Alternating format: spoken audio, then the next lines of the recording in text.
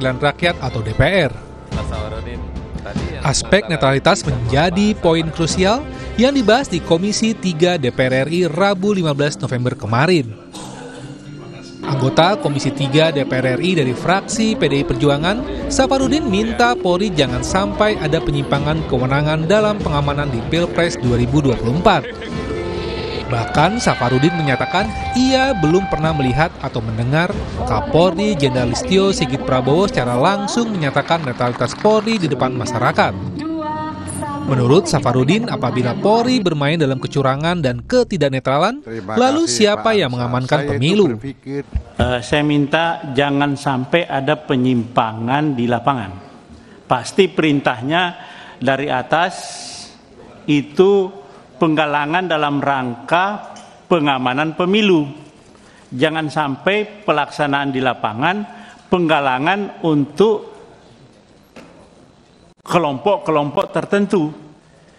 Kalau Polri ikut pemain di situ, terus siapa nanti mengamankan? Dan itu sumber sumber terjadinya kericuhan, eh, kekacauan itu kalau polisi ikut bermain di situ. Pernyataan yang disampaikan Safarudin itu memicu perdebatan antara Wakil Ketua Komisi 3 DPR Ahmad Saroni dan anggota Komisi 3 DPR Atria Dahlan. Sebagai pimpinan rapat, Sahroni menanggapi pernyataan dari anggota Komisi 3 Safarudin yang menyampaikan sejumlah catatan soal ketidaknetralan Polri jelang pemilu 2024. Sahroni sempat mengingatkan agar tudingan ketidaknetralan Polri disertai bukti. Arteria pun menginterupsi pernyataan Sahroni. Arteria minta Sahroni agar menaati tata tertib sidang. Enggak, ini saya minta Pak Ketua juga tertib dalam memimpin rapat komisi. Enggak, ini kenapa ya? kenapa jadi Tenang. Nanti kalau itu nanti dia akan kasih bukti lain hal, Pak. Tapi iya, ini kan yang saya yang menyampaikan begitu, bertanya untuk ya. menjelaskan Enggak, kepada tugas Bapak itu ya. mengatur lalu lintas, silakan diberikan kepada yang lain. Tenang. Pimpinan tenang, juga berhak tenang. untuk menyampaikan pada hal anggota yang bicara. Iya, langsung Itu aja. punya hak. Enggak boleh enggak?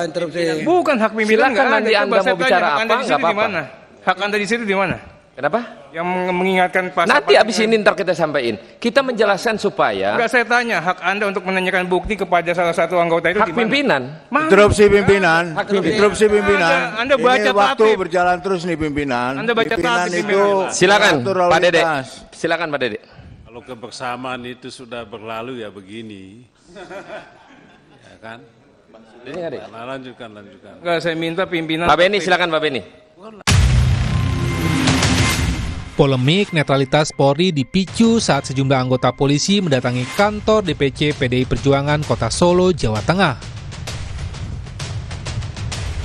Namun Kapolri Jenderal Listio Sigit Prabowo membantah kalau tindakan itu sebagai bentuk intimidasi.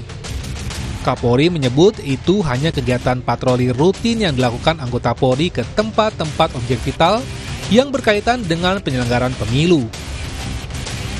Kapolri menegaskan pihaknya dan jajarannya akan bersikap netral pada pemilu 2024. Jika ada anggota Polri yang tidak netral, Kapolri meminta warga mempersilahkan melapor dengan bukti yang cukup. Dan kalau ada pertanyaan, kalau kemudian ada yang melanggar komitmen tersebut, ya silahkan saja dilapor. Tentu kita akan proses. Namun sebaliknya, tentu harus ada bukti yang cukup. Jangan hanya framing, jangan hanya isu, tapi kemudian ada bukti yang cukup. Dan yang lebih utama, bahwa tugas Polri, saya kira juga sama dengan TNI, adalah bagaimana menjaga keutuhan masyarakat, keutuhan bangsa, persatuan dan kesatuan. Itu yang utama, siapa pun presidennya. Jika ada anggota Polri yang tidak netral, Kapolri minta warga dipersilakan melapor dengan bukti yang cukup. Untuk mengawasi netralitas Polri di Pilpres 2024, Komisi 3 DPR RI mempertimbangkan pembentukan panitia kerja atau panja netralitas Polri dalam pemilu 2024. Namun pembentukan panja netralitas Polri masih akan dibahas dalam rapat internal Komisi 3 DPR RI. Tim Liputan, Kompas TV.